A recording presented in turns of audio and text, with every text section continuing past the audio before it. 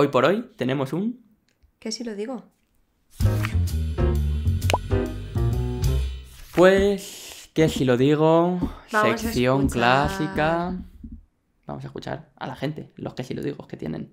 ¿Qué tienen que decir? Sí, tenemos bastantes acumulados, ya que como dijimos lo de que faltaban que si lo digo, la Sí, gente se lo todo el tomó. mundo, confesión, confesión, confesión, confesión, y de repente, ¿qué si lo digo? ¿Sabes que no hay? Claro, claro, y dijeron, no te preocupes, yo, yo digo, yo Espérate digo. que te voy a decir. Espérate que digo unos cuantos. Entonces tenemos unos pocos. Vamos a ir rápido y no nos vamos a enrollar mucho porque queremos escucharnos los máximos posibles, sobre todo por ver si podemos dejarlo como un poco reseteado. Limpio para la siguiente temporada. Exacto, entonces Exacto. hoy toca escuchar a muchos nunus. Toca escuchar unos cuantos nunus. Vamos directamente sin más dilación. A la gente le encanta escuchar a los nunus. Así que vamos a ello. A ver qué nos tienen que decir. Todo anónimos, a no ser que digáis el nombre nada más empezar. Claro. Hola Patricia, hola Marcos. Primero, eh, pues decirles que muchas gracias por este podcast. Me entretiene mucho, me acompaña durante mis tardes llenas de tareas de universidad. Nos alegra. Y bueno, eh, yo traigo la cuestión de que cómo los fandoms influyen en cómo ves a un grupo, ¿no? Por ejemplo, eh, yo soy Army y por muchos años había escuchado BTS, pero como que me daba miedo entrar a estanearlos así. O sea, yo ubicaba sus canciones, las escuchaba, de hecho Wings era uno de mis álbumes favoritos, pero ni me sabía el nombre de los miembros y así hasta en 2020 que Dynamite se hizo muy grande.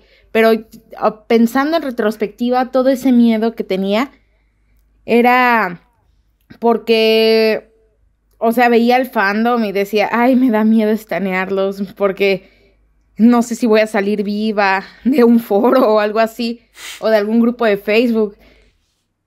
Muy legítimo, ¿eh? Eh, tiene más, supongo Sigue. que. Vale, a ver. Y otro co- otra cosa que me pasaba es, por ejemplo, con Wonyoung y Jenny. Ah, pero esto es distinto. Esto ¿Es otro cosa. tema? Yo creo que es distinto, ¿no? No es por estanearlas a ellas. que ¿no? A ver, les cae un todo. hate inmenso y dicen cae mal o por ejemplo eh, con Wonyoung el video de la fresa o Jenny el video en donde trae los lentes y las demás están bailando y así yo decía ay pues sí son flojas o así pero o sea me pongo después me puse a ver más contenido tanto de Wonyoung como Jenny y dije ay son súper lindas las dos o otra cosa que pasa también siento es que mucha gente que entra al K-pop no por el lado de BTS actualmente eh, pues al menos en México he notado como esa últimamente como eh, como resistencia a BTS porque por ejemplo en los random dance no ponen ninguna canción de ellos o ya no hay dance cover de ellos en los eventos de K-pop y las que entran verdad, ¿eh? pequeñas no o sea, los fans sobre todo las he escuchado decir como es que BTS está Ah, Este sí que sigue. Este, este sí. A lo que voy es que, pues, sí, nuestro juicio se nubla sin ni siquiera antes conocer al grupo y luego eso muchas veces es culpa del fandom y crea mala publicidad para los grupos. Muy bien resumido el que si lo digo al final. La ¿eh? verdad es que sí. Ha dicho, o sea, me- tenía dudas de qué era el que si lo digo, pero al final lo ha, lo ha clavado. Al final lo ha clavado. O sea, ha dicho, efectivamente esto es. Creíamos que no iba a seguir como en el segundo Sí. audio, pero en verdad sí que estaba aislado de O alguna sea, básicamente está diciendo que hay muchos idols y muchos grupos que muchas veces se crea como una imagen global de ellos en base a unos fandoms que les atacan, otros que les defienden, otros que tal, no sé cuánto, que te distorsiona a lo mejor un poco realmente cuál va a ser siquiera tu perspectiva del artista y, y si te, realmente tienes que tener eso en cuenta. Claro. O sea, yo esto ahora, mientras me he hecho adulta con el K-pop, Sí. he encontrado la fórmula. ¿Cuál es la fórmula? Seguirlos a tu puñetera bola. Ya, eso está claro. O sea, O sea- yo- lo de Jenny lo he visto muchas veces y yo muchas veces he dicho, hostia, Jenny macho, vaya ganduladas te estás pegando. Pero luego yo otras veces he visto a Jenny y he dicho, vaya chocho Se tiene... se lo está comiendo. Vaya está chocho tiene Jenny, cómo lo puede hacer tan bien, vaya puta reina, ¿sabes? O sea, y Sí. con Won me pasa lo mismo. Y hay veces que veo a Won y digo, Won es literalmente una reina, podría pisarme la cara y le daría las gracias. Y hay otras veces que veo a Won y digo, tienes más cara que espalda, ¿sabes? O sea, te- tengo las dos cosas, ¿sabes? Sí. Entonces, obviamente son personas y en momentos sentirás que son más de una forma y otras veces sentirás que son pues otra, ¿sabes? O sea, Sí, pero yo entiendo eso en el sentido de que, eh, por ejemplo, lo que estaba explicando ya al principio es que a ella le gustaba BTS, pero le daba miedo meterse en el Claro. fandom de BTS por X o por Y. sí. no hace falta meterse en un fandom. No O sea, hace falta meterse, la puedes cosa es- disfrutarlo tú a tu rollo. Claro, o O, sea, con es- nosotros que no atacamos a nadie. Hay mucha gente que se cree que sí que atacamos, además a cuchillo limpio, Mira. pero no es así. Si nosotros atacásemos o fuésemos como son los fandoms tóxicos y demás, no pondríamos ni la mitad de los mensajes que nos mandáis aquí, ni, nos, ni diríamos absolutamente nada de lo que decimos. Claro. Nosotros somos súper tolerantes con todas las opiniones.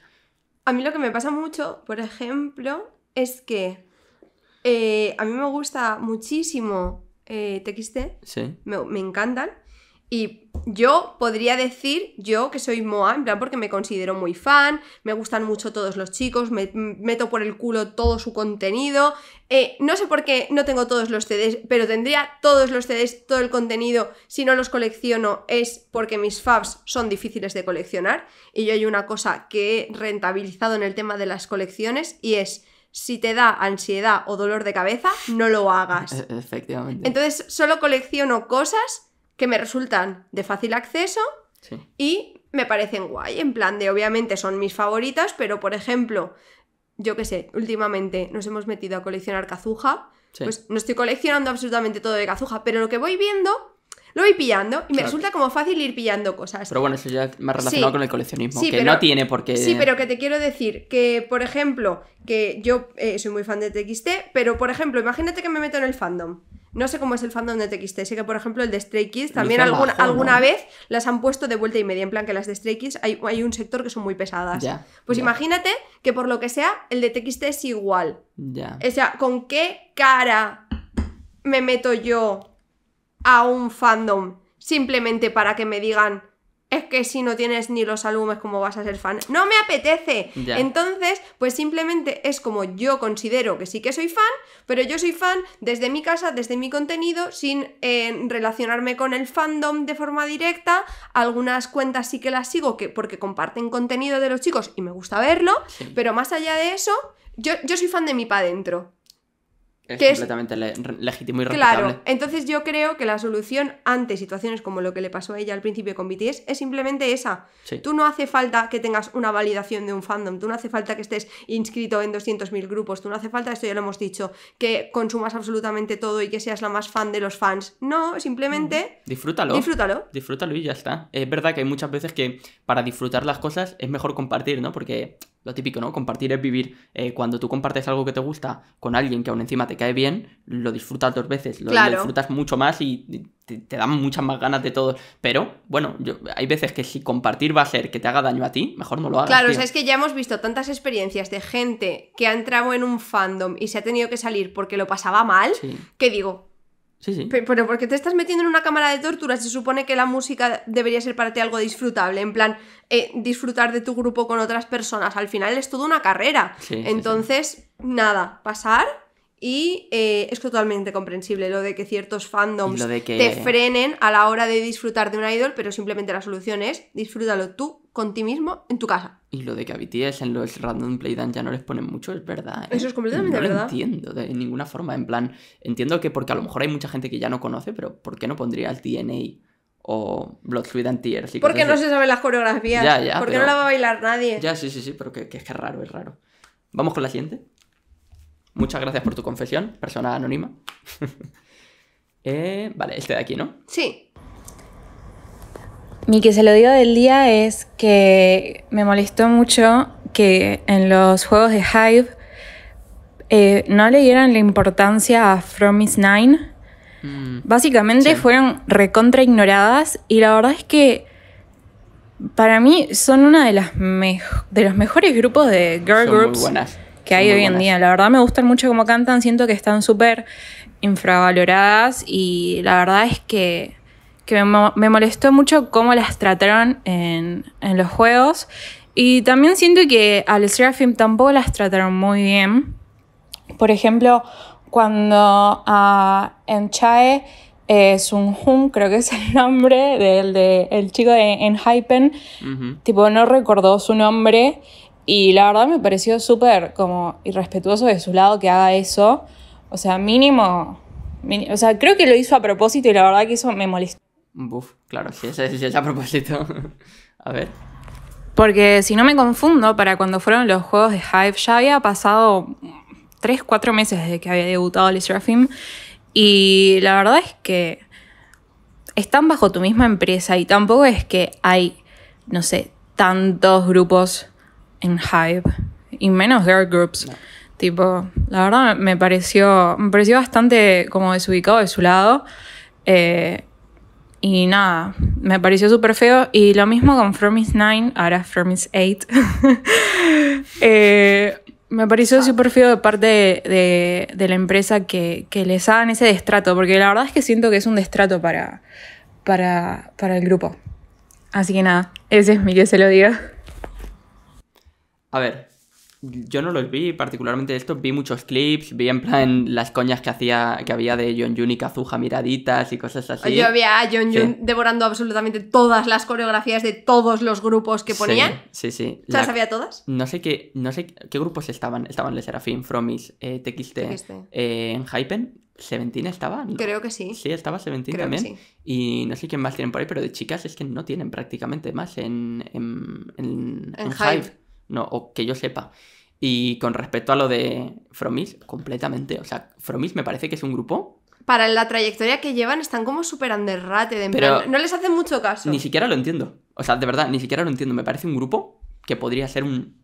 En plan, el G-Friend de la cuarta, por así decirlo. o sea, me parece un grupo todas carismáticas, todas guapísimas, todas cantan bien, todas bailan bien, o sea, todas lo hacen bien, todo, ¿sabes? O sea, tú las ves y dices, no veo nada que diga, Ah, no, o sea. Y que tienen temones. Es increíble el grupo, pero por alguna razón siguen como súper.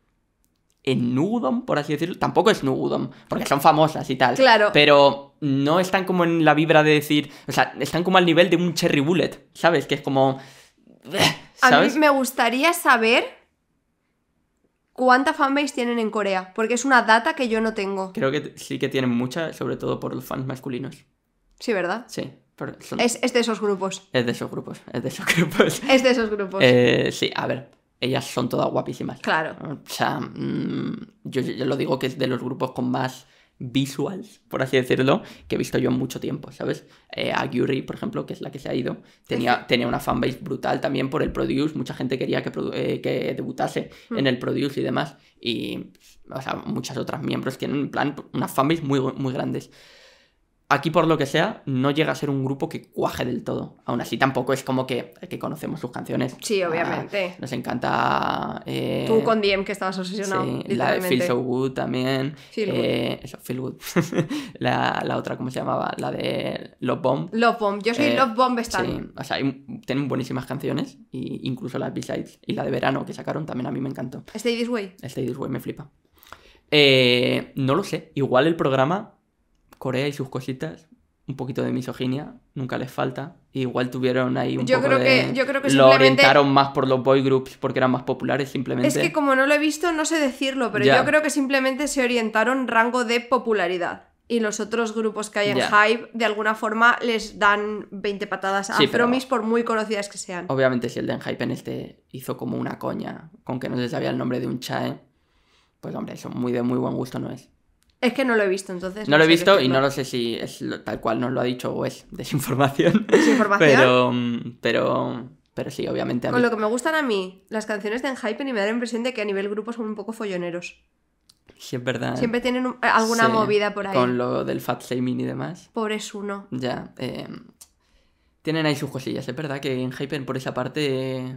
rebu con lo bien que está estanear TXT lo bien que se siente. ¿Cómo me gusta TXT, Patricia? Todos unos angelitos. ¿Cómo me gusta TXT? unos angelitos. Vale, bueno, vamos con el siguiente. Muchas gracias por tu confesión. No sé sí, si que sí lo digo. O sea, por tu que sí lo digo. No sé si lo hemos respondido como tal. Pues tampoco hay que responder los que sí lo digo. No, simplemente que si lo digo es como... Ahí lo llevas. Sí. Vale. Eh... Ese primero es el que sí lo digo. Vale, pues vamos con él. A ver. Hola Marcos, hola Patricia, soy Inés de Alicante y tengo un que si lo digo. He de decir que cuando empecé en el K-pop en 2018-2017, empecé por Block B y luego me metí a BTS y tengo que decir que realmente la calidad musical de Block B al principio era mejor que la de BTS, o al menos eso creo. Un saludo, me gusta mucho el podcast. Un besazo, muchas gracias. Un besazo Inés. Eh, hombre, Block B Bloppy tiene. Eh, tenía lo suyo, ¿eh? Sí, no, no, pero Bloppy tiene buenas canciones. Bloppy es un grupo muy icónico de segunda y tal, ¿sabes? O sea, Yo es que solo conozco a Nalina porque se hizo viral en TikTok. Ya, pero, o sea, seguro que conocen más porque tienen más canciones famosas, pero la única que te llega así es esa, ¿sabes? Mm. Eh, Obviamente por el TikTok y eso. A ver, que si lo digo, sí, A ver, pero es que- igual es un poco también cosa del principio. Puede a mí ser. BTS al principio no me gustaba tanto. Claro, o sea, la cosa es eso, Yo que, creo que- es como controversial, pero hay mucha gente que es muy defensora de BTS al debut y gente que el debut de BTS no le gustó una mierda Sí. y un poquito más adelante ya se engancharon. A ver, yo creo es, que es personal y es tema, es eso, es a nivel calidad musical. Pues igual Block B tenían en ese momento más medios, porque recordemos que mm, BTS salía de Big Hit que no eran nada. No, entonces no tienes eh, los mismos medios, no tienes los mismos productores, no tienes como más background que Video bien que agencia estaba en ese momento. no me acuerdo. Pero supongo que será una agencia ya con una trayectoria. Pues no estoy seguro. Es que, mm, es que no tengo ni idea. No tengo ni idea, Lo pero... voy a decir porque no tengo ni idea. Sí. Pero yo creo que, que se- eh, sin saberlo, desinformando totalmente, que nos lo digan en los comentarios, Sí. una de las razones se podría deber a eso. También. A ver, de todos modos, yo creo que en BTS hay como distinta gente que por época o cuando les pille tienen como distintas eras que les gustan más o menos. Está la gente que le flipa la era de Ram, Save Me, eh, eh, Dope, eh, todas estas que son como medio antiguas, medio BTS renovado, medio tal, que es como, eso fue la época dorada, eso fue increíble. Eh, luego tienes a las que te dicen que eh, su favorito es Blood, Sweat and Tears, DNI, eh, todas estas, Yo. Que, que son como en plan la época que yo creo que más como lo empezó a petar. Y luego están todas las que reniegan de toda su faceta mainstream en inglés, Dynamite, Butter, eh, esto que han sacado último, la- Life Goes On, es un poco como 50-50, o sea, un poco mezcla en el Sí. sentido de es como antiguo, pero también es, está Pero renovado, es como tal. para los fans. Claro, entonces, a ver, a mí lo de elegir era o no, te puede gustar más o menos una u otra, pero al final lo que te gusta es el grupo. Claro. O sea, a mí me gustan muchas canciones de BTS y aunque haya canciones que te vayan más en algún momento o menos en otro, sigue siendo... O sea, una cosa lo cambia la otra, ¿sabes? Claro, o sea, lo único es eso, que le puedes tener como más cariño a una época Sí. o a otra, dependiendo cómo te pegue. Pues a eso, a mí me pasó eso, que cuando estaba como escuchando más K-pop al Era principio, eso, ¿no? era la época de DNA, Fake Love, eh, había salido ya Blood, Sweat and Tears, entonces Sí, era son como... esas tres. Claro. DNA, Fake Love y Blood, Sweat and Tears. Hay mucha gente que les pegaron una hostia muy grande. A mí Y luego hay otra gente que tiene claro, que está con eh, la época de Fire, Dope, eh, Ram y demás. Es como ese fan army un poquito más nostálgico, que le gusta un poco más ese rollo, pero tampoco es el debut, ¿sabes? Claro. Es la parte en la que empezaron a hacerse famosos. Es que el debut BTS, va ¿sabes? mucho más atrás, Claro, de los claro. más antiguos. Entonces, pues claro, eh, ahí está. Claro. A ver, dos grupos muy icónicos, Block y BTS. No Sí. se me puede decir más. Vamos con. Nos quedan dos. ¿Nos da tiempo, Patricia, o no? ¿18 minutos? Sí, nos da tiempo. Se intenta, se intenta. Va, ponte los cascos. Voy. ¿Qué coño estás haciendo? Me, me quedan para de momento. Te, te has quedado Sí, sí, sí, teleñeca.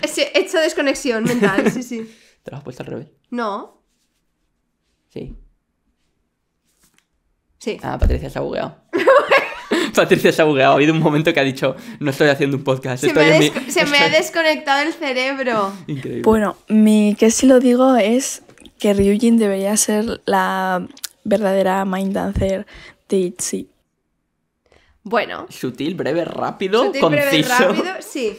Eh, claro, ¿quién es? Charyong. Como Bu- Charyong es tan me duele, pero entiendo el punto. Yo creo que baila mejor Charyong, ¿eh? Baila, yo Creo que Charyong tiene el baile más limpio. Claro, que... o sea, la cosa está en eso, en que una cosa es, digamos, el nivel de calidad de baile Sí. y otra la versatilidad de baile. En ese sentido, Creo creo, que que, Ryujin- es más versátil en los estilos y que sí que puede dar como bailes tipo dance break y todo eso, pero a la hora de como los pasos, la limpieza, Charyong es más limpia. Yo creo que Ryujin es, the de alguna forma, tiene como más personalidad bailando. Está, está como mucho más marcado en su estilo y es mucho más fácil quedarte y decir, ¡buah! Es que esta tía se está comiendo la cámara. Pero claro, eso no tiene por qué ver tanto con bailar bien Claro. o mal, ¿sabes? Eh, bueno, sin ir más lejos, el- en el KBS, la, esta que hicieron, no sé si era de, de la última, de la última canción de la de Cheshire, Sí. es una parte que se ponen los gorros y a Charion se le cae el gorro y Ryujin, eh, supongo que no estaba pensado que se le cayese el gorro porque se le cae bastante de despiste, Sí. y llega Ryujin que sale por detrás, Hace el coge, le- dance break, de hace el dance break, le pega una patada al gorro y literalmente parecía que estaba pensada la es que patada al le gorro. queda súper limpio. o sea, la hace en plan que dices, "Guau". claro, da la patada incluso a tiempo en coreo y dices, "Pff", en plan, se la suda, ¿sabes? O sea, literalmente le puedes tirar un tronco de esos del Fall Guys, una pera de esas, y, Ay, te la esquiva. y te la esquiva y queda bien, ¿sabes? O sea, en- Sí. como que en ese sentido entiendo que tiene como muchísima personalidad y Claro. es la hostia y puede parecer como que en términos de baile lo hace mejor, pero yo creo que Chaerion marca perfecto. O sea, tú ves a Chaerion bailando y es en plan muñeco del jazz dance. En plan, Sí. esto va aquí, esto aquí, mueves aquí, la cadera llega hasta aquí, el pie va hasta aquí y no hay nada que digas, ay, ahí se ha tropezado un poquito. es no. más a nivel técnico. Ryujin es eso, que tiene como un estilo más personal y de Mm. alguna forma pues eso lo ves. Pero bueno, como le dan también las partes de dance break y todo Sí. eso, no hay tampoco mayor problema. Creo que cada vez menos deberíamos asignar los roles, porque eso es algo que ya comentamos que la Sí, cuarta generación se está estaba borrando. Entonces, simplemente no hace falta que haya main dancer. Las dos bailan muy bien, pues si, Ya si le tienen que dar como trozos de baile a alguien, que se lo den a ellas y listo. Y. Yeji también baila muy bien y, y el vídeo de Yuna bailando ha sido increíble. Y porque Así alguna que- lo haga un poco peor, como muchas veces se le ha criticado a Lía, tampoco pasa nada, ¿sabes? O sea, quiero decir, que cada una va aquí un poco a, su rollo y a lo que... Esto, o sea, mm, no es máxima exigencia, todas tenéis que rapear, cantar y bailar perfecto, ¿sabes? Claro. Que si todas lo hacéis bien, pues entonces no habrá que asignar el rol, pero coño, si una lo hace mejor, tampoco pasa nada, ¿sabes? O sea, que esto no es medirse a ver quién lo hace mejor, ¿sabes? ¿Quién es la mejor del grupo? Exacto. Todas las del grupo son talentosas, por eso están ahí. Venga, vamos con la última y cerramos la sección. Sección larguita, pero bueno, no pasa nada, que luego la gente lo agradece. Que si lo digo, confesión es que la calidad musical en la cuarta generación ha bajado muchísimo. Porque tú, por ejemplo, vas a la segunda generación, las canciones eran bastante Yo, buenas. Tú vas a eh, la tercera generación, vamos a decir, bueno, los tres famosos: eh, BTS, Blackpink y Twice. Aunque le digo que los otros que no son tan famosos sean malos. Pero tú vas a esos tres grupos y las B-sides son muy buenas. Y incluso a veces más buenas que las titles. Pero tú vas a eh, ahora la cuarta generación, que quitando algún grupo autoproducido como Jai de los Stray Kids, por ejemplo, y las B-sides son, se parece que la gente que hace las B-sides, menos Les Serafim, para mí Les Serafim es el, el grupo de la cuarta generación con mejores B-sides que no es autoproducido, y es que las B-sides son malas, es que parece que no sé, que la gente que las hace no se esfuerza en hacerlos. Lo está diciendo, ¿eh? Lo Está- está, eh, lo está diciendo. Lo está diciendo. Eh, Itzy, las B-sides de Itzy son, en mi opinión, yo soy Mitzi y me gusta mucho Itzy, pero es que las B-sides de Itzy la mayoría Yo esto son lo dije en su día. malas. Esto lo dije en su día. Eh, es que la calidad musical está bajando muchísimo porque tú escuchas B-sides de segunda, tercera generación y B-sides de la cuarta generación y es que hay muchísima diferencia. En el sentido de que Sí. la tercera generación tenía una calidad musical increíble y ahora la cuarta generación, como Sí, lo sí, que hacen es cada vez más producto, producto y producto, se esfuerzan solo en la title, que es la que va a escuchar todo el mundo, y las B-sides solo los fans, por así decirlo, y como los fans se van a conformar con todo, por así decirlo, hacen cualquier lo, lo más rápido que puedan hacer y las y no tienen calidad musical la mayoría de grupos, no digo todos, hay grupos que tienen B-sides muy buenas. Sí, a ver, yo en general ta- tampoco te puedes quedar como toda la calidad musical de la tercera generación, o sea, de la cuarta generación es mierda. No puedes... Eso tampoco se puede decir. Pero sí No, entiendo pero- el punto de nos curramos la title y las B-sides nos dan bastante igual. Claro, pero además es que eso lo estamos viendo tan sencillo como que cada vez en la cuarta generación está más extendido hacer single, Single, álbum sí. con una title y una B-side y ya está. Y te sacan cada X tiempo una title y una B-side. Sí, sí, sí. Y no se preocupan de hacer más, es como vamos a sacarles una B-side por no sacar una sucia canción sola que sea la que vamos a presentar en el programa, pero que a ese nivel sí que les dan un poco más igual. Sí que es verdad que las B-sides de Les Serafín son y impecables, Stray Kids también. A y sí, pero es lo que- Seventeen también me encantan. pero 20 no son cuarta. Ah, bueno, claro, es verdad.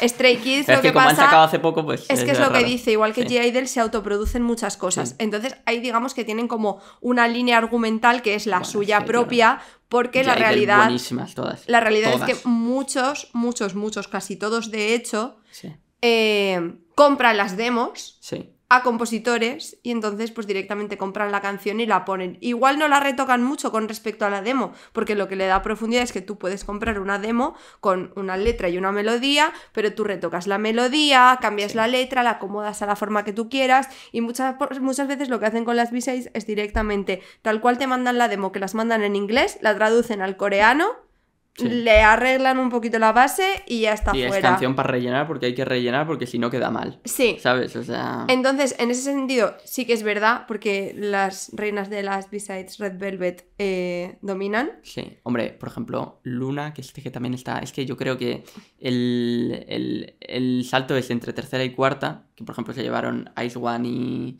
y Luna. Sí, que- sí que tienen muy buenas B-sides, ¿sabes? Hmm. Pero yo, por ejemplo, con Luna creo que las B-sides cada vez fueron siendo peor, ¿sabes? Ya. Con el paso del tiempo. También porque tuvieron sus cosillas, pero, ¿sabes? Que en un principio eran muy buenas porque estaban más pegados a la tercera generación y eso se llevaba más. Y Hmm. luego ya era como más. "Beh". Y con Ice One, a mí, por ejemplo, las primeras B-sides no me gustaron mucho. Pero sí es verdad que las últimas me gustaron Luego mucho. tienen muy, muy buenas Entonces, B-Sides. pues bueno. eh, Luego también grupos de cuarta que tienen buenas B-Sides. El primer álbum de Aespa tiene muy buenas B-Sides. Hombre, a mí, por ejemplo, yo Todas creo... son buenas, no tiene Sí. ni un skip. Es como diría Junjin, no álbum skip. Sí, y es verdad. O sea, no y- es skip álbum. Y bueno, TXT... Tienen muy, buenas. Muy Me buenas. gustan todas. Y NCT... Pero claro, es que en City estamos un poco en las mismas. Es que es, es el, el lore de la SM. No, y porque- que son tercera, pero están en Exacto, cuarta. exacto. Es que Purita cuarta sí que no es tan erróneo decir que son peores las B-sides. Stacy o que tiene se centran- buenas B-sides. Bueno, claro, Stacy es muy buena. No tiene todas las B-sides muy buenas, pero tienen muy Pero buenas cumplen, cumplen. claro. Muchas de ellas cumplen y dices, son muy disfrutables. Es que hay otro, yo, de verdad, yo lo digo, es que me sabe muy mal, pero yo escucho las B-sides de ITZY y digo, no puedo, no puedo porque es que hay aquí cosas que es que de verdad se sienten que están hechas por una IA. O sea que, en plan, siento Canción que... genérica hecha por una No, pero siento como que no le han metido pasión, como que no le han... Que no sé, que les han puesto ahí en el estudio y han dicho, venga, cantarla... Cantad la- literalmente la canción más genérica que no, haya, pero no os ya compliquéis mucho. Y, en que, plan... y que hay en plan canciones como Racer, como Shoot y demás que están muy bien, sí. Sí. Pero hay otras muchas que yo las escucho y digo, "Puf, ¿Qué? eh, que no, ¿sabes? Ya. Y sobre todo cuando vienes de gente como Sistar, que se curraba los álbumes un montón, como Guild Generation, que tiene 8 full albums. Full albums, Full más albums. todos los minis, que eh, las B-sides para ellas son en plan, mm, tiene que ser algo bueno. Eh, vienes de álbumes como el, el Picaboo de Red Velvet, que tienes Kingdom Come, que tienes eh, Just, que tiene, en plan que tienes bar- Es que Look, tienen que tienes tantas barbaridades, ¿sabes? buenas en Claro, es como de repente que haya bajado tanto aquí el nivel. Buah, No, o pero EXO, es eso. EXO, en plan, el, el álbum de, de El- Lucky One y de Monster. Y el de Tempo. eh, bueno, es que esos Eso son es increíbles. increíble. O sea, en plan. Da rabia. Da ya, rabia ya por- no se hace, ya no se hace tanto full álbum No. y cada vez se hace más single álbum. El segundo y podcast. tiene que ver con eso, el con el segundo tema del podcast producto. hablamos de esto, ¿eh? Que mucha gente ya no se acuerda, porque hace ya mucho de aquello. Ya Pero lo hablamos de todo esto, lo de, de los álbumes y de los singles y de qué cojones está pasando. En plan, Sí. eh, ¿por qué? ¿Por qué? O sea, de verdad, ¿por qué? Pues ¿Sabes? es lo que dice, quieren cada vez más producto, Sí. quieren sacar más contenido para enganchar a la gente de alguna forma, para que no se olviden de los grupos y al final ahí sacrifican de alguna parte calidad musical. Sí. Bueno, es lo que hay. eh, lo ha dicho. Oh, lo ha dicho, lo dijo. Lo dijo. lo dijo.